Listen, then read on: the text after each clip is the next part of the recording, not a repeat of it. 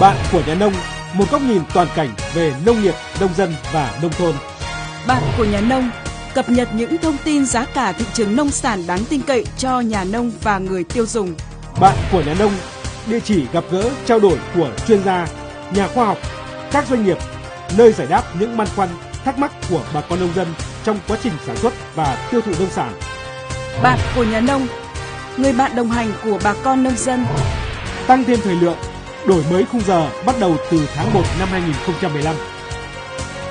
Mời quý vị cùng đón xem chuyên mục Bạn của nhà nông vào lúc 5 giờ 30, 10 giờ 20 và 17 giờ hàng ngày chỉ có trên VTV2